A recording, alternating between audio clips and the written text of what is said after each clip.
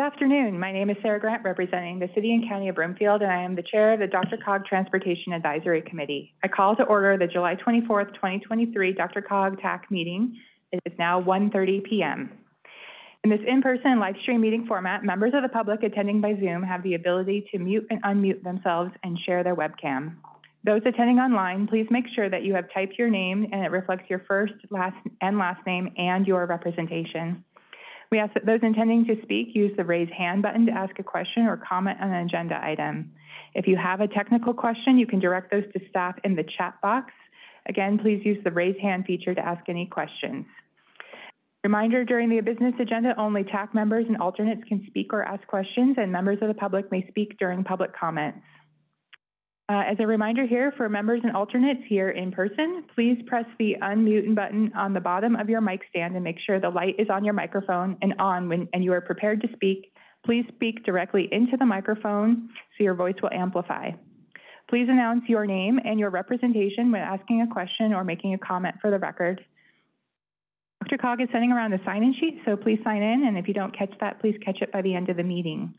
Dr. Cog is sending around the sign-in sheet. And at this time, uh, TAC members and alternates will introduce themselves. And uh, we'll start with the roll call for members and alternates to introduce yourself around the room. Please name your, your name and representation. And uh, we'll start with uh, Director Myklebust.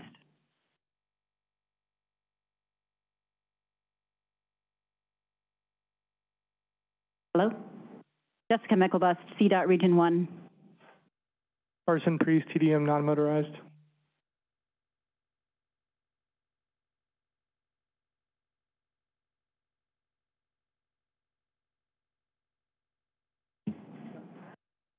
Christina Lane, Jefferson County. Brent Soderlin, um, City Littleton. Kevin Ash, Weld County, Frederick. Rachel Hulteen, Bicycle Colorado non-motorized seat. Uh, Jeff Dankenbring, representing Arapahoe County from the city of Centennial. Sarah Dusenberry, City of North Corn. Bryan Weimer, Arapahoe County. Jeff Boyd, Two Creeks Neighborhood Organization. Hi, good afternoon. Sean Poe with Commerce City. And Phil Greenwald, City of Longmont, Boulder County. Hi, everyone. Jean Sanson, City of Boulder. Hello, Frank Bruno via Mobility Services. Cam Kennedy, Dr. Cog staff. Sarah Grant, City and County of Broomfield. Ron Papsdorf, Dr. Cog. Art Griffith with Douglas County. Tom Rice, Town of Castle Rock. Allison, City of Aurora, Arapahoe County. Matt Williams, alternate from Douglas County, uh, City of Lone Tree. And Jennifer Hillhouse of the City and County of Denver. Justin Begley, City County of Denver. Bill Sirois, RTD. David Gasper, City and County of Denver. Al Moore, RAC. Lauren Kurgis, Dr. Cogstaff. Josh Schwank, Dr. Cogstaff. Marissa Gaughan, CDOT Division of Transportation Development. Brody Ayers, Aviation Special Interest. And Rick Pilgrim. Great, thank you. Uh, Ron, do we have any introductions of any new members for this meeting? Not that I'm aware of, Chair. Thank you. Ron, appreciate that. So now we'll uh, open up to uh, public comment. Uh, we'll now open the meeting for public comment, and comment is limited to three minutes. And as a reminder, after the public comment period, only TAC members and alternates will partake in the discussion regarding each agenda item. If you've joined by Zoom, please raise your hand by pressing the raise hand button and we'll call on you to begin speaking. And if you've joined by phone, please raise your virtual hand by pressing star nine and we'll call on you by your last three digits of your phone number. Staff will unmute you and you will need to unmute yourself by pressing star six on your phone. You will have three minutes to speak, after which we will ask you to wrap up. As a reminder, everyone after the public comment period, only TAC members and alternates may partake in the discussion on the agenda items. Um, do we have any public comment here in person today? Or online? Cam, do we see any raised hands? Thank you, Madam Chair. Uh, I'm going to give it a second. But I don't see any hands raised online or in person. Wonderful. Thank you. We will close the public comment period, and this time we'll move on to the meeting summary uh, for the June 26th TAC meeting, which you'll see in your agenda packet. Is there any discussion, corrections, or questions about the June 26th, 2023 meeting summary?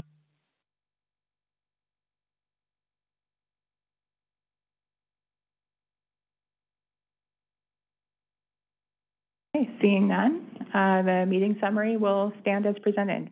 Thank you. Uh, we'll move on to our action item agenda. Uh, we have three items today for action. Uh, item number four, fiscal year 2024 to 2025 Uniform Planning Work Program for the Denver region. This is attachment B in your packet, and I will hand it over to Josh Schwank, planner. And please note the addendum in your packet.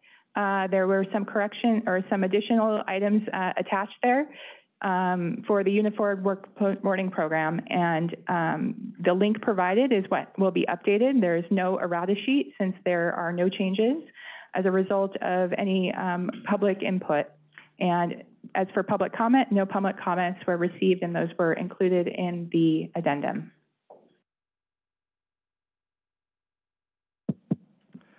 Thank you, Madam Chair.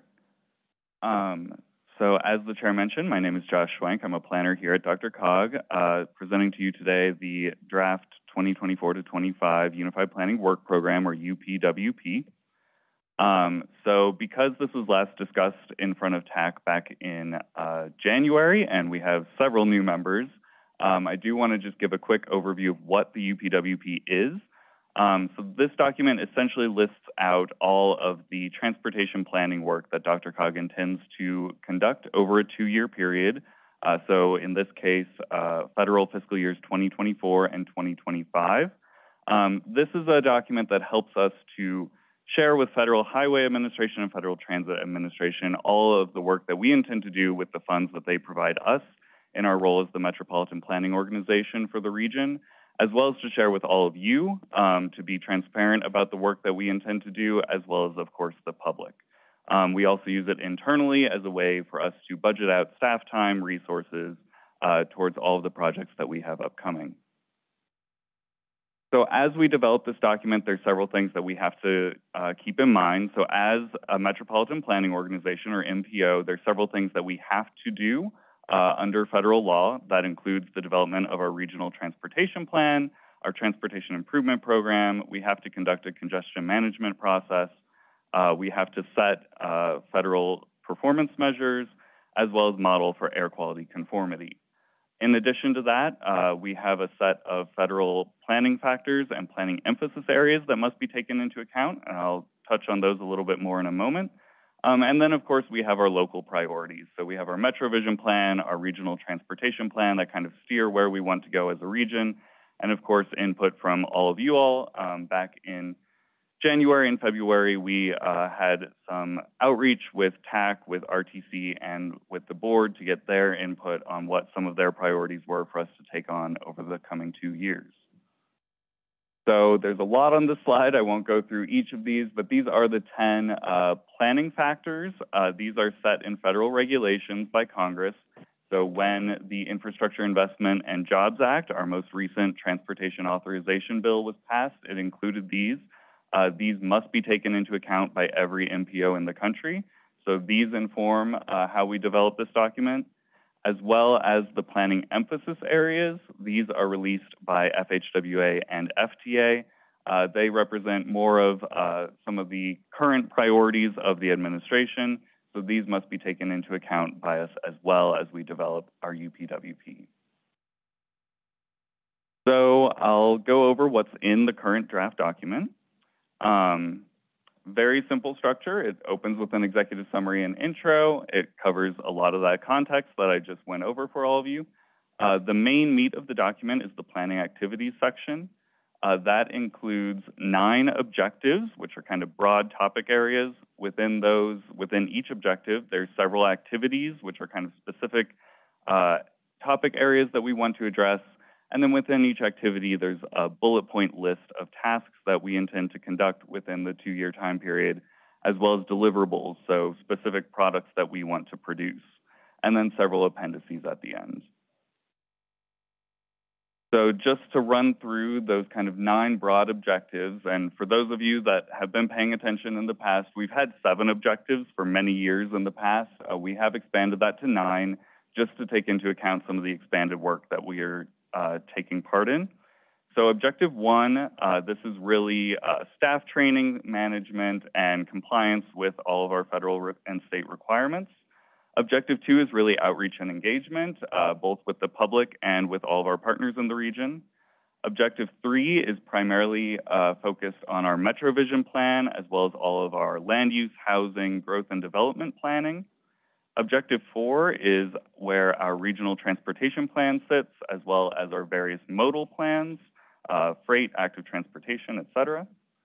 Objective five uh, is air quality planning, so really looking at air quality conformity as well as some of our climate pollution reduction grant activities.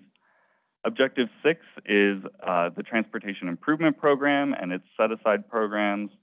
Objective seven is looking at operations and system management as well as safety planning and innovative mobility.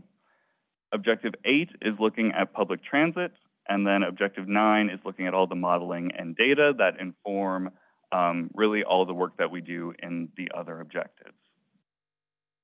So just a few highlights. Um, there's a lot in this document. Uh, we're going to be very busy over the coming years.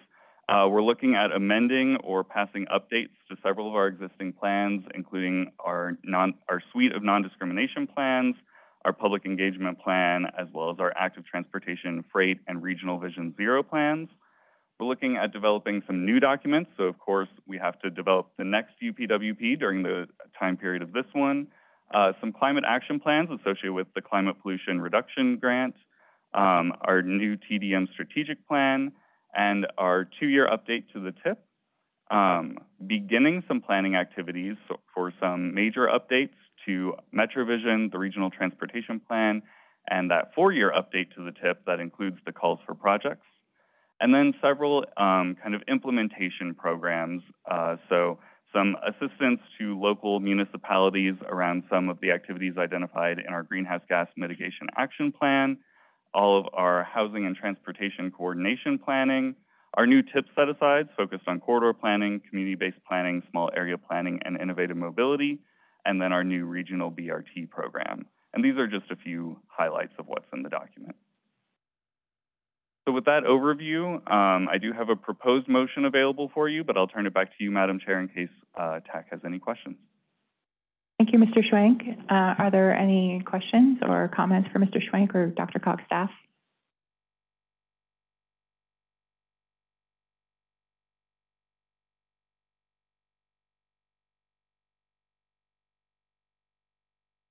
Seeing none.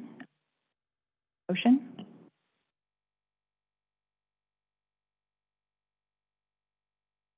Mr. Pilgrim.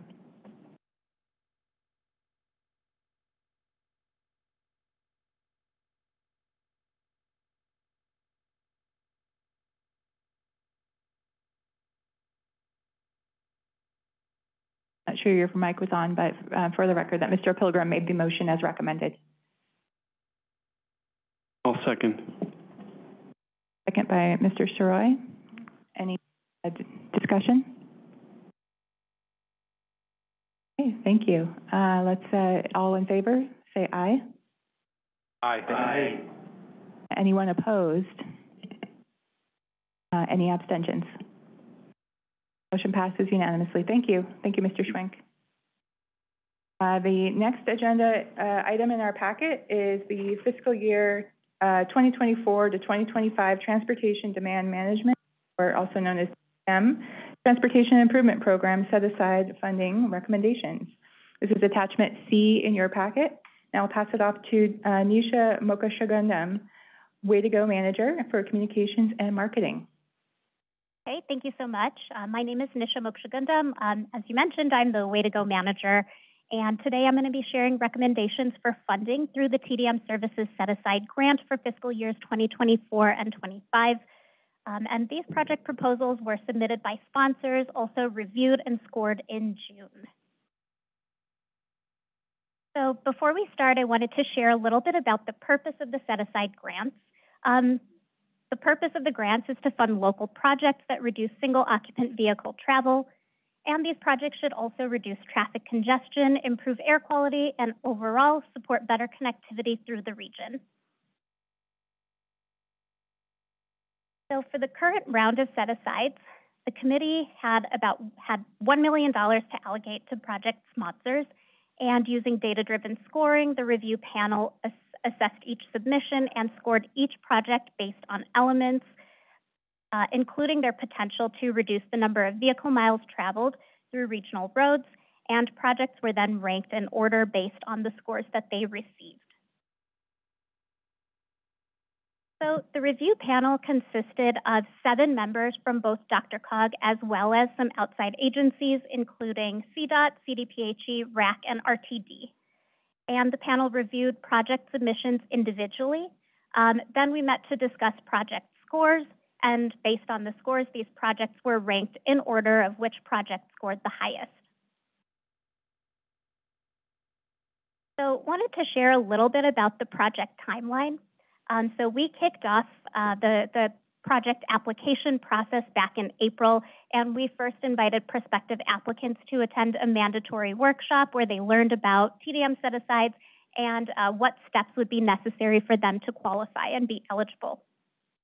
Um, each uh, project applicant was required to submit a letter of intent, and uh, that was due at the end of April any applicant who submitted a letter of intent was then invited to um, apply for the TDM set aside, or rather submit an application for the TDM set aside, and those were due at the beginning of June. So all of these dates um, you can see on the slide. So I wanted to let everybody know that DRCOG received 12 applications, and panel members then, as I mentioned, reviewed and scored each project, and that ultimately led us to a ranked list of projects. So in the next two slides, I'm going to walk you through which projects the panel recommends for funding. And um, just as a reminder to all of you, all of these project descriptions are also available in your packet if you'd like to follow along. So as I mentioned in a previous slide, DRCOG did receive 12 applications for funding. Um, and uh, the panel recommends that six of those projects be funded, with a seventh to be placed on a wait list. Um, so I will just talk through each of these projects. Um, I've got three projects listed per slide, so we'll have two slides here before I share descriptions of all six of those. Um, so the first project I wanted to talk about was submitted by Denver Streets Partnership, and this was um, to explore the development of a mobility benefits district along East Colfax. So a little bit more on the goals of the project. Um, the goal is really to address on and off-street parking uh, demand.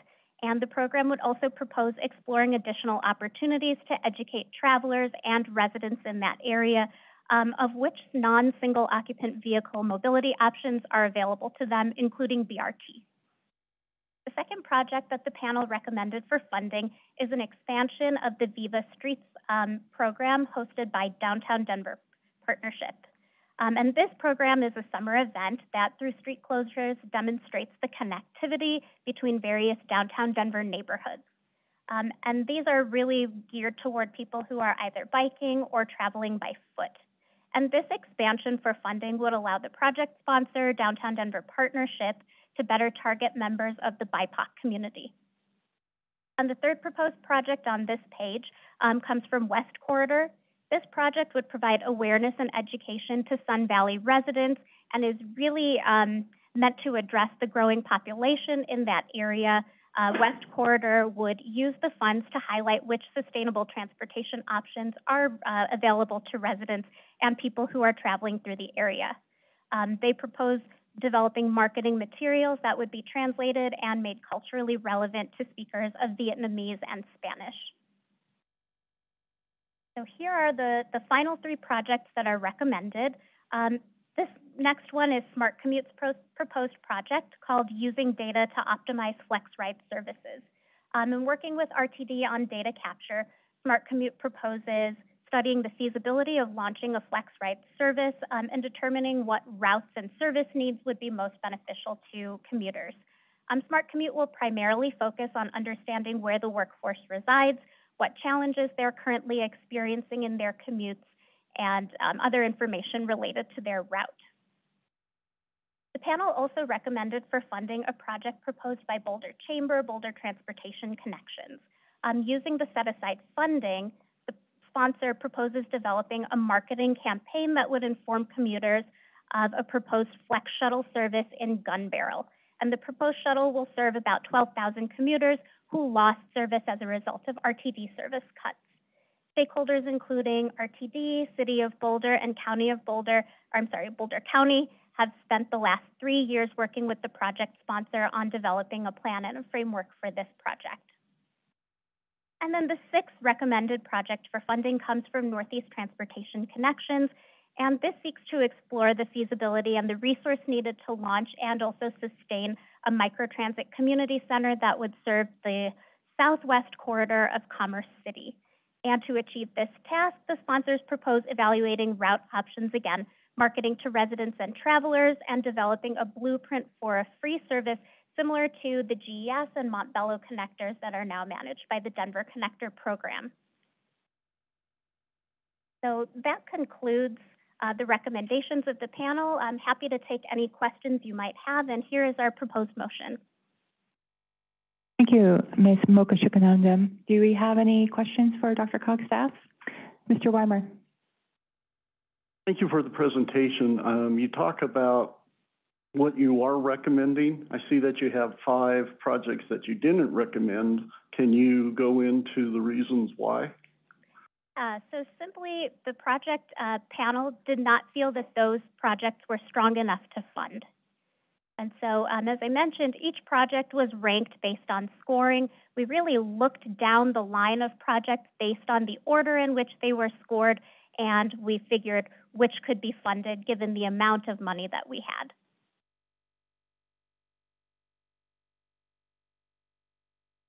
Mr. Pilgrim? Um, Erickson. uh, uh, Thank you. Uh, excellent question. I'm Steve Erickson, uh, Communications and Marketing Director at Dr. Cog and oversee the Way to Go program and, and this TDM set aside.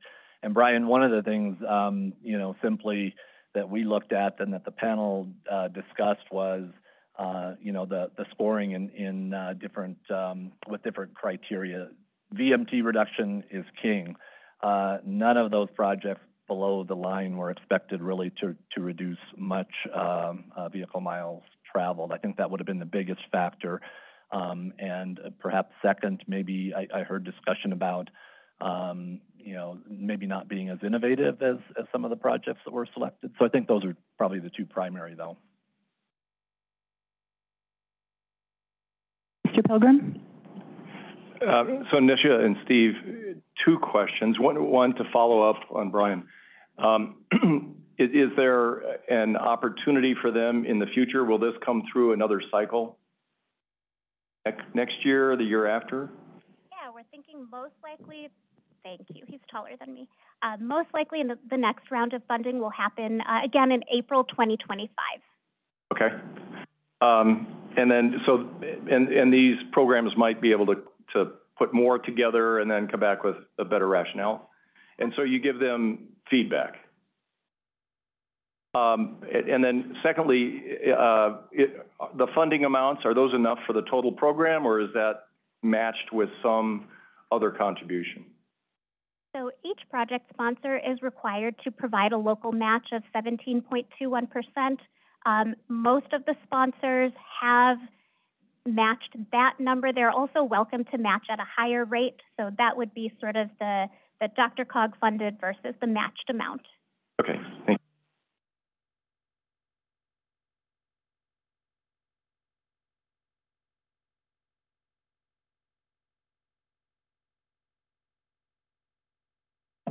Mr. Weimer?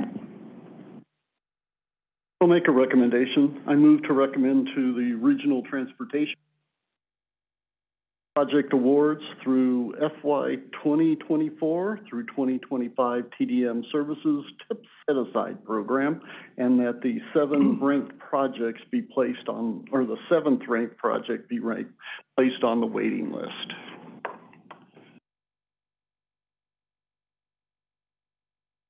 Thank you, Mr. Weimer. Mr. Greenwald? I'll second. Thank you, Mr. Greenwald. Uh, is there any further discussion? Seeing none, uh, all in favor, say aye. Aye. Aye. Anyone opposed?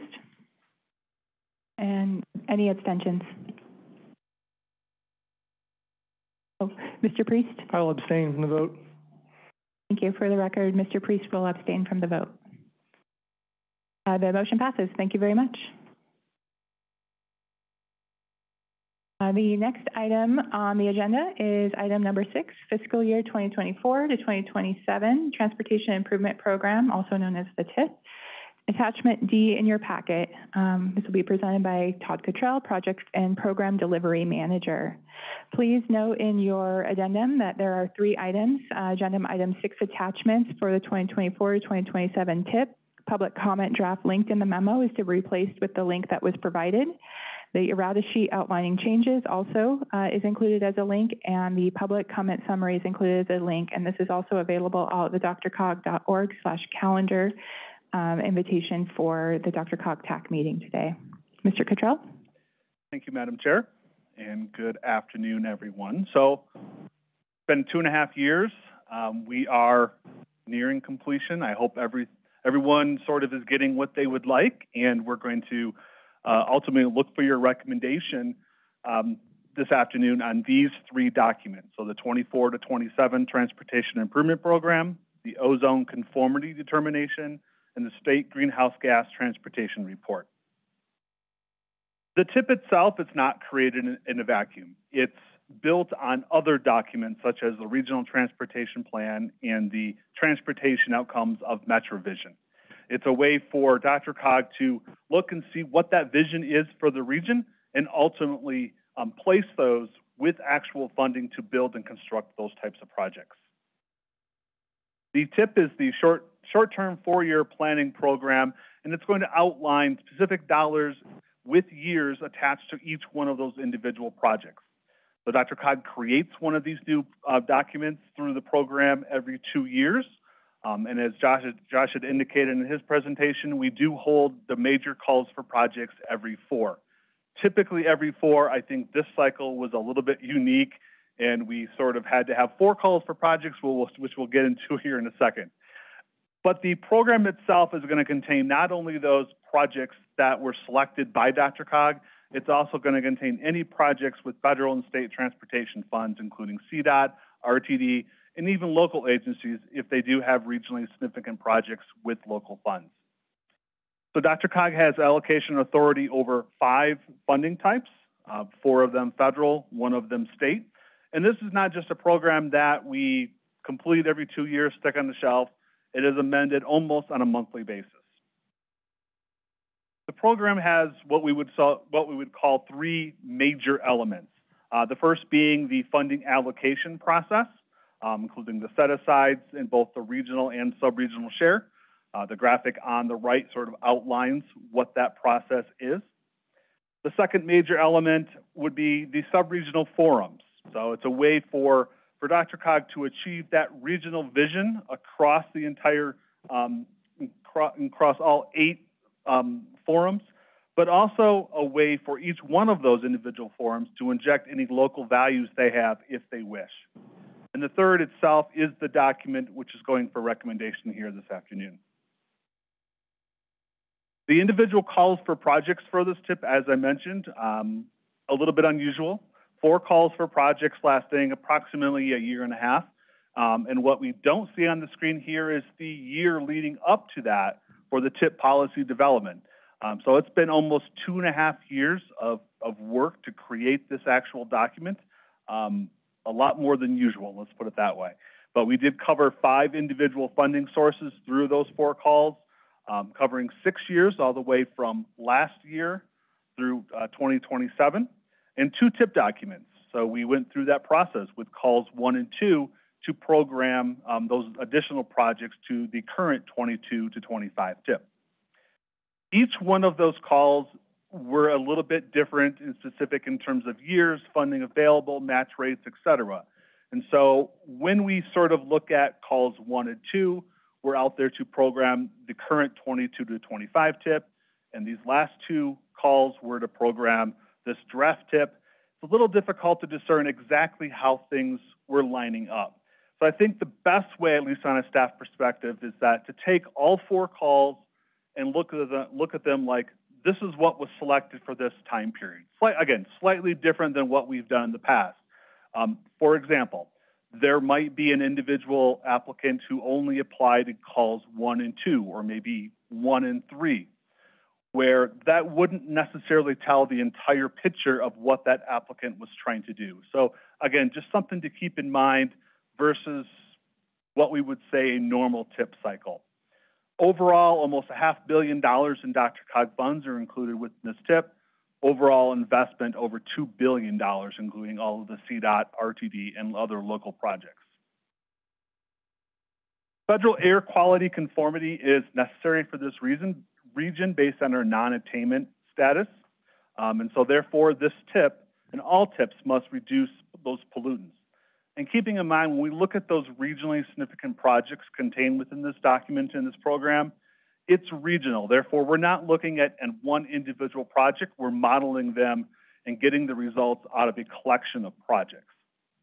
Uh, also, a couple years ago, there was a new state requirement um, for the new TIPS and, in fact, even new RTPs to achieve that greenhouse gas emission reduction target. And since the TIP is essentially based on the TIP, therefore, all of those regionally significant projects that happen to be in this TIP are also federally required to be in the Regional Transportation Plan. And within the Regional Transportation Plan, all of those um, projects did pass the pollutant tests and the planning rule for GHG. We can therefore conclude that this tip also passed um, the emissions test for the regional air quality conformity and for the greenhouse gas planning rule. So when we look at this tip document, what do we think we're going to accomplish? Well, if we simply look at by funding, 62% of the funding available through DRCOG will go towards active transportation, 23% for transit, and 14% to road, roadway projects. 190 intersections will be improved, 95 miles of bike ped facilities will be built.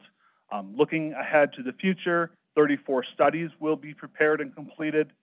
70% of those projects will implement complete street elements. 80% of those projects will improve those connections to transit.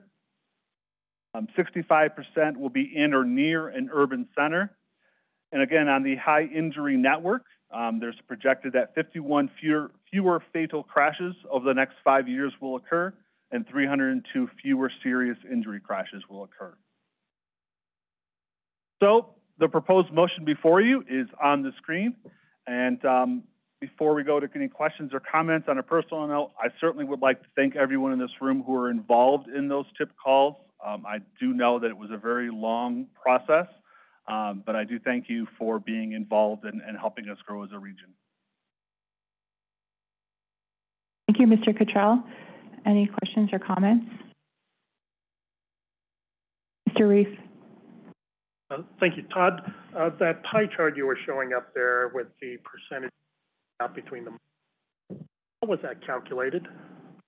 So for each individual application, we broke down what, what are the costs within the application. So if we took a roadway operational project and it did have an active transportation component, we would separate those.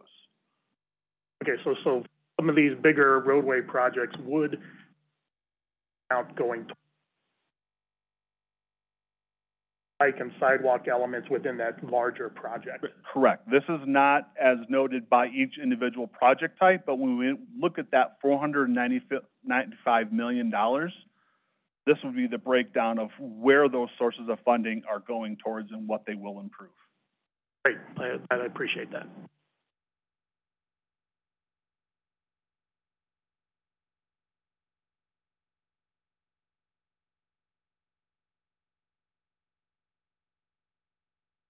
I'm seeing no further questions or comments, and, oh, sorry, go ahead, Mr. That's okay. Mr. Um, Just a, a quick question, and Todd, I don't know that this is specifically for you because I know it's part of a bigger conversation, but the GHG letter as part of this, um, is just a reflection of the tip itself, correct? There's a whole other ongoing maintenance and monitoring of the GHG rule that happens separate. The tip is a piece of that, is that correct? I know that's more of a Jacob. Maybe I'll let Ron, Ron chime in. Um, I understand the question correctly. Under the state's greenhouse gas rule, um, the uh, planning documents that are subject to the rule include um, adoptions or amendments to regional transportation plans and adoptions of new transportation improvement program tips. So the four-year tip. Amendments to the tip are not subject to the rule. Um, the the provisions of our agreement between DRCOG, CDOT, and the um, of Colorado Department of Public Health and Environment includes a provision relative to tips that we can rely on previous analysis to determine um, our compliance with the rule requirements and the target reductions.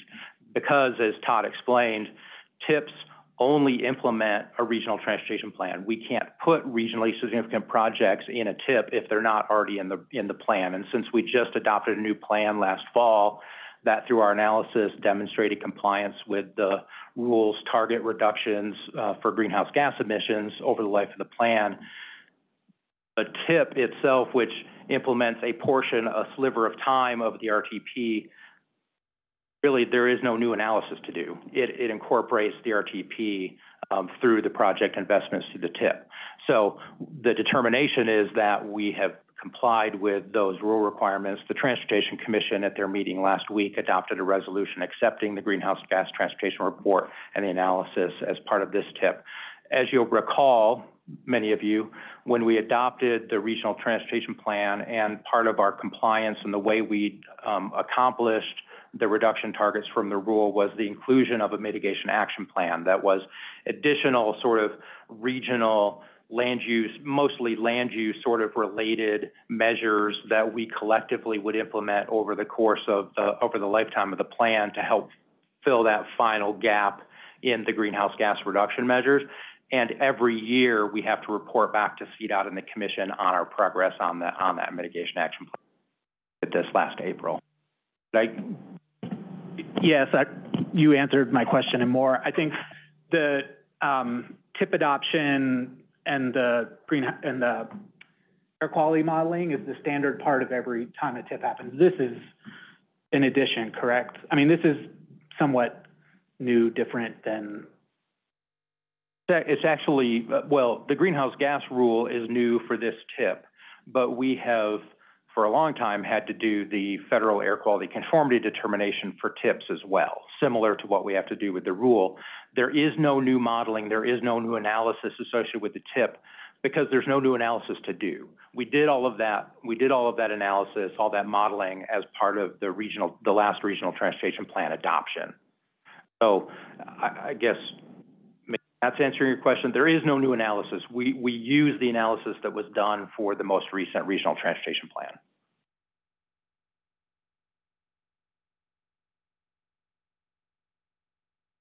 Ms. Hultin? Thanks. Um, so remind me of the time frame when the next tip calls for projects would be opening. We just covered it a couple of presentations ago. So the next calls will be summer to fall of 26. Okay. And that will cover 28 to 31. And so am I remembering correctly that we actually have a compliance of 2025 emissions for the greenhouse? Is that correct? I believe so. I'm not the expert. I'll let Ron. Rachel, the the tar the horizon years or the target years in the rule are 2025, 2030, 2040, and 2050. So how would the, maybe this is slightly off topic, but to Justin's questions, how would the next tip be affected if we're not meeting our targets in 20?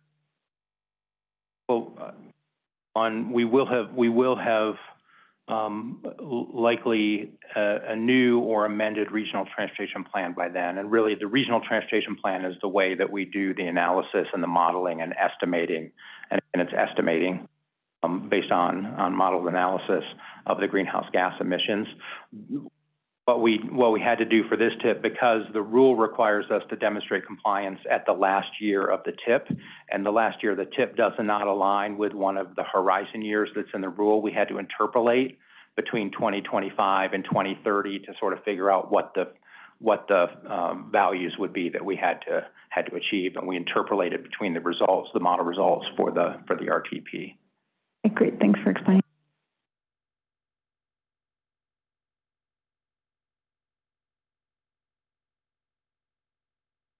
Further questions or comments?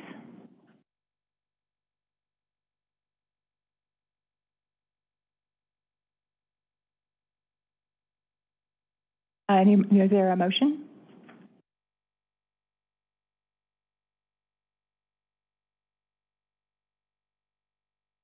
I'll move. It's DeAndrea, thank you. Yes, I'll move to recommend to the RT Regional Transportation Committee the fiscal year 2024 to 2027 Transportation Improvement Program and the associated air quality documents and green transportation report. Mr. Griffith? Uh, second the motion. Mr. Griffith? Uh, any further discussion? Okay, well, all in favor, say aye. Aye. Anyone opposed? Any abstentions? Great, the motion passes. Thank you so much, and thanks to everybody in all the subregions and all the agencies around this table for this tip cycle. Much appreciated. Um, we will move on now. That was our final action item, uh, agenda for today. Our next, uh, agenda item is an informational briefing, um, on Front Range Passenger Rail District Overview. This is attachment E in your packet, and I'll hand it over to Ron Papsdorf to introduce this topic.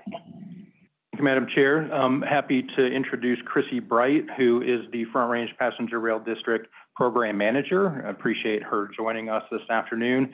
Um, many of you may recall that the, the Front Range Passenger Rail District was created by Senate Bill 238 to replace the previous Southwest Chief and Front Range Passenger Rail Commission that existed think I got a thumbs up from Chrissy. Wow, that's great. Um, and we just thought, given the work that the district is now doing and has been doing for, gosh, almost a couple of years now, uh, wanted to invite them to give an update to the TAC on their current and upcoming activities as it relates to Front Range passenger rail development in the Front Range corridor. Chrissy, thank you. Awesome. Thank you so much. Um, I think that's like finding the right distance. Um, so I just first want to welcome you all and thank you all. Um, Andy Karsian, our general manager, could not be here today. He's at uh, State Capitol for TLRC and sends his regrets that he's not here. Um, I also just want to acknowledge that many of you have been part of this conversation for a long time now. So I apologize. Some of these slides seem kind of introductory, but I'm happy to take questions after I get through them. Um, I think essentially in alignment with your last presentation, um, you know, we all know the challenges regarding congestion, safety, reliability, greenhouse gas emissions, and our disconnected communities. And that's kind of the issues that we think of. We look to why we need to have a new transportation option. This mic is weird. I might just project. Um, so what is Front Range Passenger Rail? It is a new inner city train service, and you'll keep hearing me say inner city. Um, the initial service will be from Pueblo through Denver, along the way to Fort Collins, um, with stops along the way. There's a long-term vision of connecting to New Mexico and Wyoming. Um, and the key kind of differentiator for our transportation project right now is using freight railroads to minimize costs and accelerate the start date. So using the freight network for the um, initial service part of our role in public outreach and outreach to stakeholders is kind of demystifying inner city rail versus commuter rail. And so as we kind of go through our outreach, you'll more and more kind of see us using the word inner city rail. Um, and then it's also kind of a level setting. And so inner city connects major cities across the state, unlike our more traditional, we know more of commuter rail, it's kind of connecting areas in a metropolitan area. Um, and then I just wanted to kind of show that as part of that inner city rail conversation, it's really not just about commuters getting to their jobs. It's a much broader universe of people that can use the train. And so part of our goal is to kind of communicate that many voices and many people that can use it. Um, every time I talk to folks, it's new people that they, new ideas of who could be using it, whether it be veterans reaching healthcare in different cities, um, families that can no longer afford to live where they work, and matters like that. So just some just some of the initial people I've heard from so far. This one. Um, and then again, as was, you know, said well in the introduction, this is, this is not a new conversation. Um, you know, I, it's funny to kind of look back and say, when was the, the introductory point to this conversation? But, um, you know, at least around 2010, there was the, uh, the interregional connectivity study, the high-speed rail feasibility study. Um, in 2014, we had the initial Southwest Chief Commission that worked to um, kind of save the chief from being rerouted outside of Colorado. That then led to the 2017 um, Southwest Chief Department Passenger Rail Commission, kind of the initial CDOT sort of led group that was looking at how to build this train service. Um, many of you are probably involved in the alternatives evaluation in 2020. Um, since then, we have gotten a grant, a CRISI grant from FRA to do a service development plan. And then most excitedly for me, the district was established. Um, so then what is the Front Range Passenger Rail District? We are a new state government created in 2021. Um, we had our first board meeting in about a year ago, so we're essentially a year, a year um, in, act in action. And we are really tasked with, from the state legislature, to plan, finance, design, construct, and operate the passenger rail service. Um, many folks think of us because we will inevitably need taxpayer funding to make this happen. So we are also a taxing district. Um, in addition to that, we are working with local communities to develop the rail stations. And as you can tell from the map on the right, our border is a state-to-state border, um, and the blue is the district boundary, and you'll notice how it kind of um, cleaves outwards to, to kind of uh, sort of, you know, essentially collect more of the population along the Front Range, but that would be the area of the taxing district. Um, we have a very diverse board of directors, and so as part of our board directors, we have four DRCOG representatives. Other MPOs in the area are also on our board, as well as governor appointments and some non-voting members. Um, I think just the big thing to mention is that this is kind of the, the once in a lifetime moment um, with all the planning to date, with the IIJA programs and things like that. This is kind of our, our moment to make this happen. Um, so along those lines, the district has applied for the Corridor Identification Development Program. It's an FRA program that essentially was brand new, created to help bring new passenger rail programs online. So it's helping states like Colorado that don't have this service already to develop um, intercity passenger rail.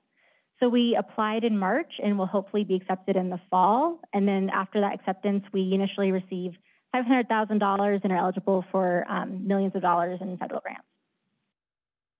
Right now, we're working on the service development plan. Um, essentially, it is the business plan that kind of lays the case to FRA that makes this, this is a feasible service. And, you know, we, we believe in it and you also should invest in us. So it looks at things like station location, service frequency, the infrastructure improvements we need to do, things like that. This started in late 2022 and it will conclude the end of next year. Um, and again, it's looking at that Pueblo to Fort Collins segment for our initial service while also recognizing that our district boundaries are border to border. Um, this slide is a little dizzying, but the reason I share it is to show that um, we've done a lot of work. We also have a lot of work ahead of us, and I think just for kind of expectation setting, um, we still have NEPA ahead of us. So more, more planning to come, um, and please know we'll be finding you in the future for additional planning work.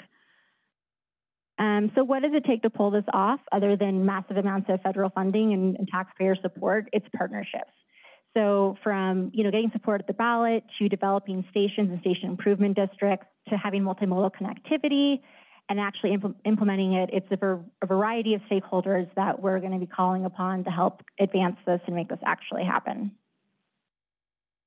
Again, it's kind of a complex picture. And so in our minds, the district, we see it as a kind of four-year plan leading into the ballot. Of course, now it's 2023, so it's really a three-year plan. But this just kind of breaks down what we're working at each year and kind of how we progressively get more kind of detailed and refined in our work to get us to probably a voter ask in 2026. So that is what I have for you today. I forgot to start my timer, so I have no idea how long I went, but I'm happy to take questions if there's still time. Otherwise, you're welcome to send Andy or myself an email. Thank you, Ms. Bright. Yeah. Any questions or comments for Front Range Passenger Rail? Mr. Griffith. Yeah, thanks. Um, when you say the initial would be from like, I think you said Fort Collins to Pueblo, mm -hmm. would that preclude you from starting a segment sooner from like Fort Collins to Denver.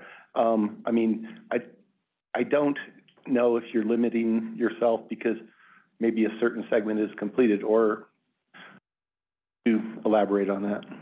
Yeah, that's the million dollar question we've been having lately, is how best do you phase it? How best do you phase it in terms of getting general public and stakeholder support? What makes sense from a financial perspective? Um, so I think there's a lot of possibilities that we're still working through. None of it's been defined yet.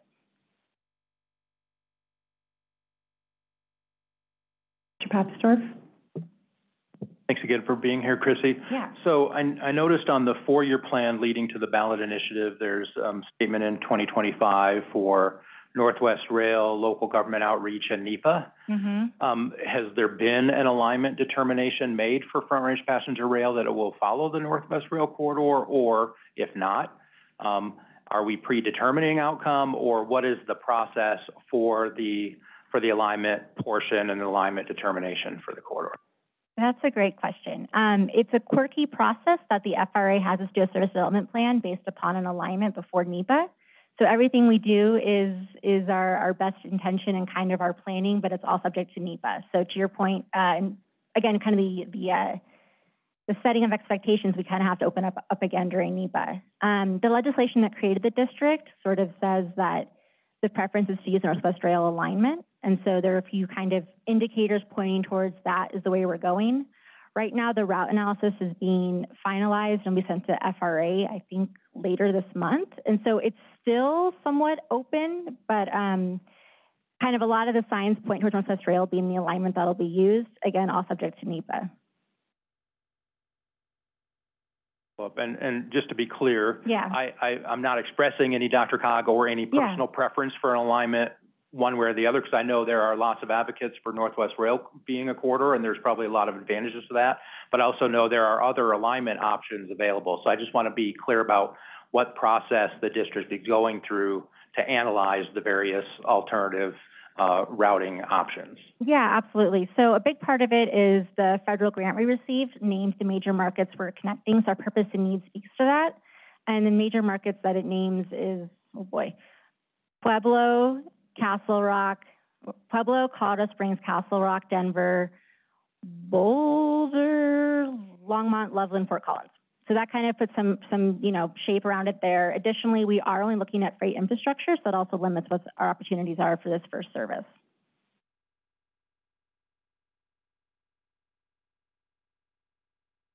Mr. Moore? Thank you. Very interesting presentation. Can you talk a little bit of how you would qualify and select uh, an operator? Yes. Um, so our district board is starting to kind of unpack that right now. Um, I think it's a triangulation of factors. Um, obviously, one of the biggest ones is that we're operating on host railroad infrastructure. So we have to figure out an operator plan that works well for what their needs are, continuing their, you know, their business of moving freight. Um, additionally, it's, you know, clearly a matter of who's interested in doing the service, who has the required insurance and track record to actually deliver the service. And so as part of that process, I think it's, you know, it's an ongoing conversation of getting an initial sense of who's out there, who's interested, who has capabilities. And then as we move further and further through the actual development of the project, through, you know, 30% design and engineering of that nature, it kind of becomes more of a solidified thing. But um, I think the way I look at it now is kind of early conversations with potential operators and with the host railroads to get a sense of sort of what are some of the common understandings and opportunities that are arising. Yeah. Mr. Weimer? Well, this might be a bit premature, but I'm going to ask the question. Maybe you've had some discussion. Yeah. And that is, I see you have a financing plan for 2024. Have you had a discussion as to what might go on a ballot, or what are you considering given today's economic conditions? That's a great question. Um, it's a fabulous question, and it's not a premature one. I think our plan right now is a lot of aspirational goals we're kind of thinking through and ideating on. So we don't have any sort of sense yet of what would really be on the ballot from a funding perspective. Um, I think the expectation is a sales tax. Um, our state our state statute does us also levy property taxes, but I think we recognize with the recent increase that's really a not very palatable one for voters. So um, being developed as we speak. I know our board is trying to look at this from kind of an equity lens and trying to understand what is um, possible and, and legal. But, you know, the idea of sort of if you get service, you know, later than others, can you have kind of a graduated tax or a later to be developed tax and trying to understand what opportunities exist to try to make the funding more of an equitable um, consideration. But more to come, a lot more to come. Mr. Griffith? Um, when you look at those, um, funding opportunities, property tax, sales tax, will all that be part of the NEPA process, or will you have already screened out those before you weigh in? And, I, and it's kind of like you're got the ballot thing going at the same time, so you almost have to do them simultaneously. That's a good question I haven't received yet. I personally haven't thought of NEPA and the taxing being in the same conversation, which maybe speaks to my own ignorance, but they will definitely be parallel conversations. And to your point, um, yeah, I think we all are hopeful for a, a more expedient NEPA, but we also recognize that NEPA is never, never expedient, never easy.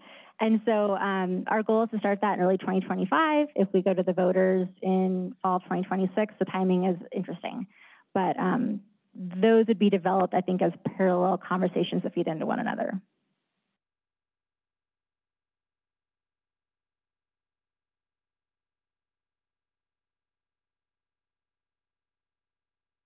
Any more questions or comments?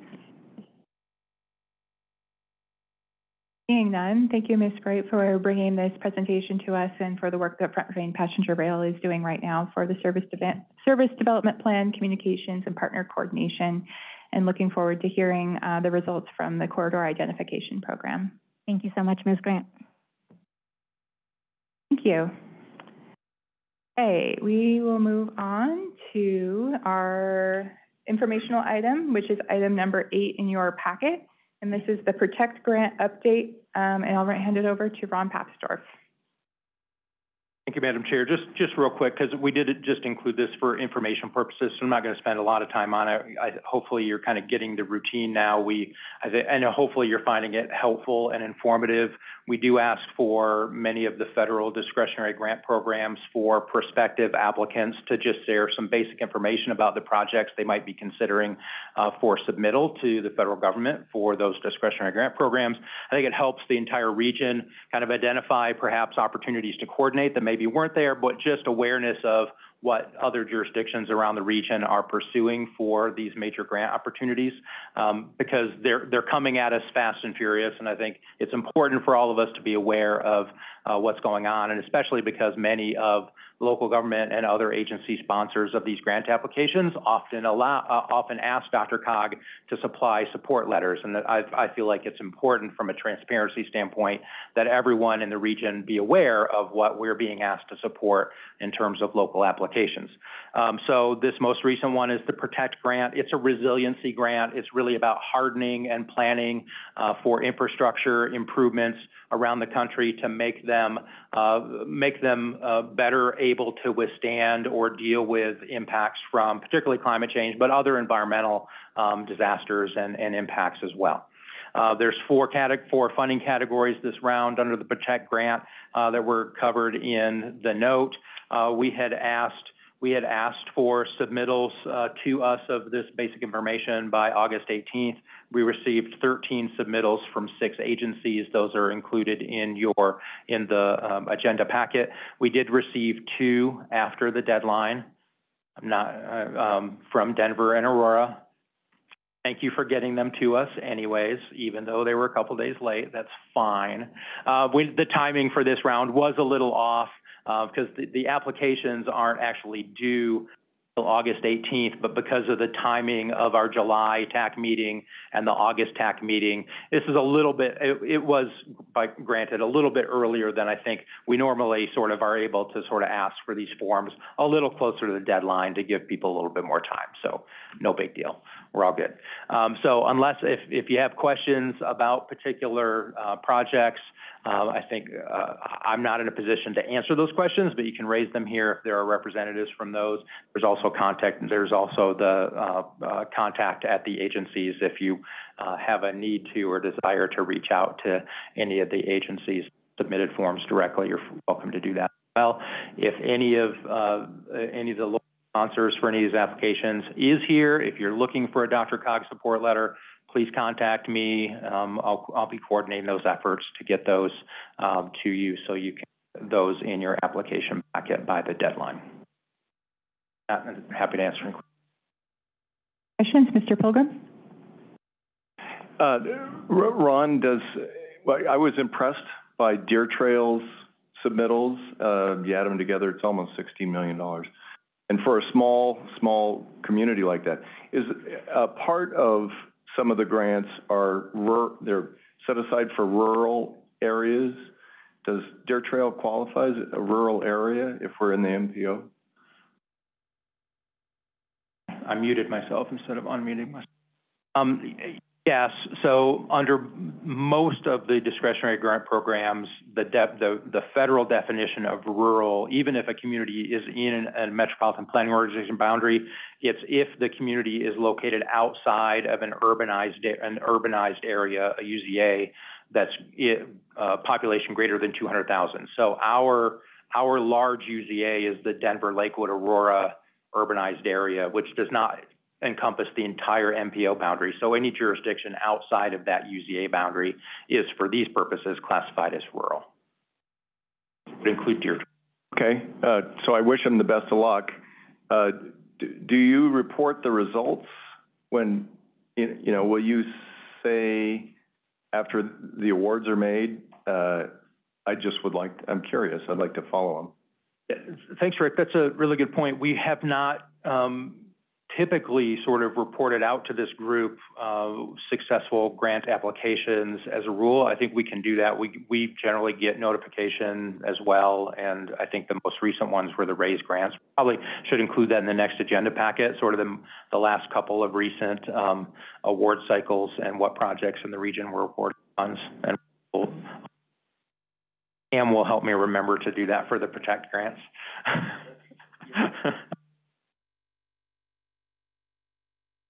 And just as a clarification, Deer Trail is not within the MPO. The MPO goes to Kiowa Creek. So they're further east by a long ways. So, just as an FYI. I, I have sort of the New Yorker's view of eastern Colorado. I, I, I'm not sure what's out there. Neither am I, so. Thank you. Any further questions or discussion? I really appreciate DRCOG bringing these opportunities uh, forward to us. There's a lot of funding coming from the uh, federal agencies and providing the transparency of the other projects that are coming forward and looking forward to hearing the reports out on successful projects. Um, next item is uh, member comments and other matters. Uh, Carson, do we have an Advanced Mobility Program Working Group update? Uh, I do not this month, Madam Chair. Thank you, Mr. Priest. Uh, any other updates or reminders from DRCOG, Mr. Papsdorf? Cool. Um, any other comments from any member of the TAC? Okay, well, thank you, everybody, for another successful TAC meeting. Our next meeting will be August 28th, 2023. Um, if you did not sign in, please make sure you, you check in at the back table. There should be the sign-in sheet or come find uh, Mr. Kennedy to be sure you are registered as attending. Thank you for your participation, participation today, and uh, we are now adjourned at 2.34 p.m. Thank you.